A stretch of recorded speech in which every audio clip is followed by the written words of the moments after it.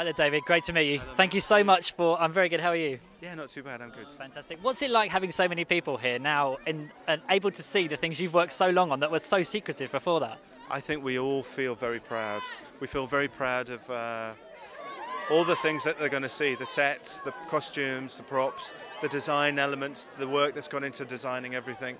Um, and nostalgic as well. It brings it all back. I've been, we've all been away from the world for a while of Harry Potter, so it's, it's kind of nice to come back. It's like a school reunion, actually. You see actors that you've worked with, Nat and Tom, and and it's just lovely to see them all.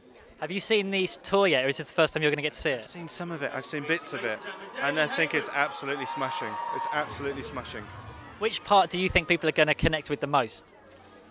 Well, it's very subjective, I think, but for me, it's the Great Hall, and I think people will really be struck by that. It's a, it's a marvelous space, and when the doors open and it reveals the Great Hall, it's, a, it's an amazing feeling. Is it strange for you now that I know they levelled the whole place after you finished Yes. filming and they've rebuilt the whole thing? Is it weird coming back and seeing it so different? It's nice and posh now.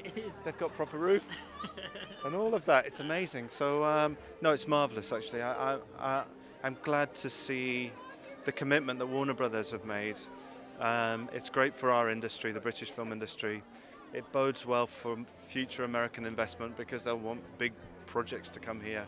And I think that's a marvelous, marvelous thing. So you touched on that, that there's going to be a backlot for filming to be to be done here in the future. Do you think, will you like to film here again? What about Doctor Who shooting here? Is that a possibility? Do you know what? I would love to come here and make movies, and um, it will feel strange making movies without the roof leaking or without it being dusty. But um, no, I'll definitely be back. Good, well, I look forward to it. Thank you so much. Enjoy the day. Cheers.